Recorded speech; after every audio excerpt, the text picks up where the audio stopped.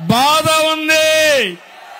అనుభవించిన దానికి ప్రతీకారం తీసుకో తీర్చుకోవాలని ఆవేశం ఉంది.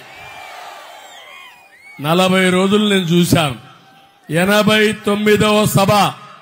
ఎవరు ఇన్ని సభలు చేసుండరు? అంత మునుపు కూడా ప్రజల్లోనే ఉన్నా. అయితే ఎక్కడ పోయినా ఇదే స్పందన ఇదే ఉత్సాహం చూస్తున్నా. ఈరోజు నేను చూస్తున్నాను యువత! వీరోచితంగా రోడ్డు మీదకి వచ్చారు. మహిళలు రోడ్డెక్కే పరిస్థితికి వచ్చారు. చిరు వ్యాపారస్తులు గాని ఉద్యోగులు గాని అందరూ బయట వచ్చే పరిస్థితికి వచ్చారు.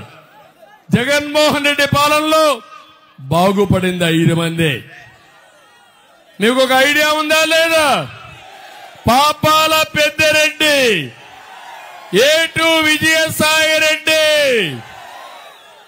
సుబ్బారెడ్డి సజ్జల రెడ్డి జగన్మోహన్ రెడ్డి. ఇంకెవడన్నా బాగుపడ్డారా? తమ్ముళ్ళు నడుగుతున్నా. రెడ్లు బాగుపడ్డారా?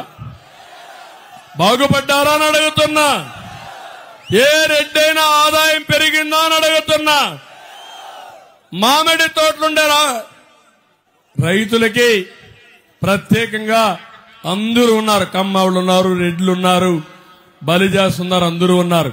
ఎవరైనా బాగుపడ్డారా? తమ్ముళ్ళు అని మిమ్మల్ని అడుగుతున్నా.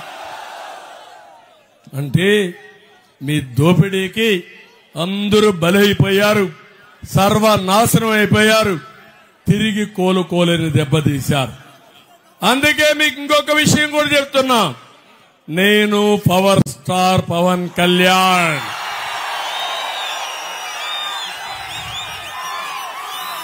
ఒకటే ఆలోచిస్తున్నాడు. సినిమాలోనే హీరో కాదు. నిజ జీవితంలో కూడా హీరో.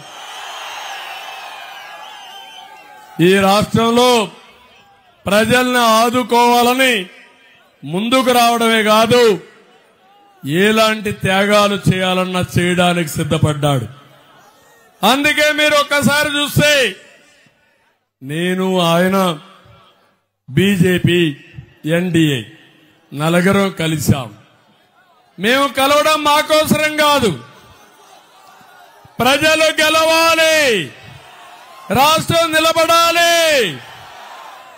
పిల్లల భవిష్యత్తు వెలగాలి. దానికోసమే కలిశాం. మొట్టమొదటిసారిగా పవన్ కళ్యాణ్ ఒకటే మాట చెప్పాడు.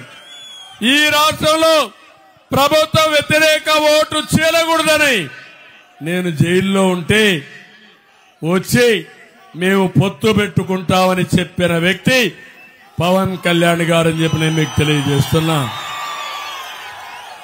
ఈరోజు ఒకటే మీ అందరిని కోరుతున్నాను. మేము సామాజిక న్యాయానికి కూడా కట్టుబడి ఉన్నాం. మీరు ఒకసారి చూస్తే తిరుపతి మొన్నటి వరకు తిరుపతి కూడా తెలుగుదేశం పార్టీ ఎప్పుడు కూడా బలిది కులస్తులకు ఇచ్చాం. ఈసారి రాజంపేట తెలుగుదేశం పార్టీ ఇచ్చాం. తిరుపతి జనసేన శ్రీనివాస్కి ఇచ్చారు. నేను అడుగుతున్న రాయలసీమలో ఒక్క సీటు వైఎస్ఆర్ కాంగ్రెస్ పార్టీ బలిదులకు ఇచ్చారా తమ్ముళ్ళు?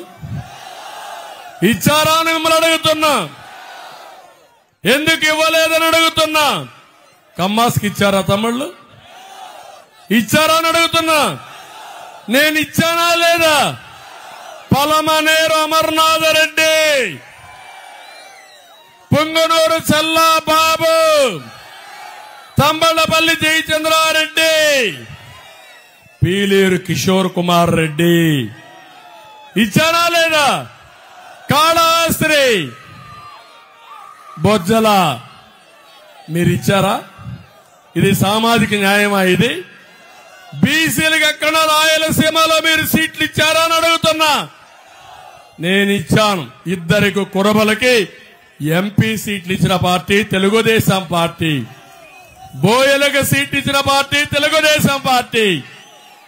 బీజేపీ తరఫున మాజీ ముఖ్యమంత్రి కిరణ్ కుమార్ రెడ్డి రాజంపేటలో పోటీ చేస్తున్నాడు తమ్ముళ్ళు. అది సామాజిక న్యాయం. సామాజిక న్యాయమని మోసాలు చేసే వ్యక్తి ఈ యొక్క సైకో అని చెప్పి కూడా నేను మీకు తెలియజేస్తున్నా. నేను ఒకటే మిమ్మల్ని అందరినీ ఇక్కడ కోరుతున్నాను. ఐదేళ్ళయింది తమిళలో మిమ్మల్ని అడుగుతున్న కరెంటు ఛార్జీలు పెరిగాయా లేదా అని అడుగుతున్నా. బాగా పెరిగాయా కొద్దిగా పెరిగాయా? ఎన్నిసార్లు పెంచాడు? ఎన్నిసార్లు పెంచాడు? రేపు ఓటేసినప్పుడు మీకు గుర్తురాదా రెండు వేలు ఇస్తారు ఓకేనా? ఐదు వేలు ఇస్తారు ఓకేనా? పదివేలు ఇస్తారు ఓకేనా? ఇప్పుడు అదే చేస్తున్నారు.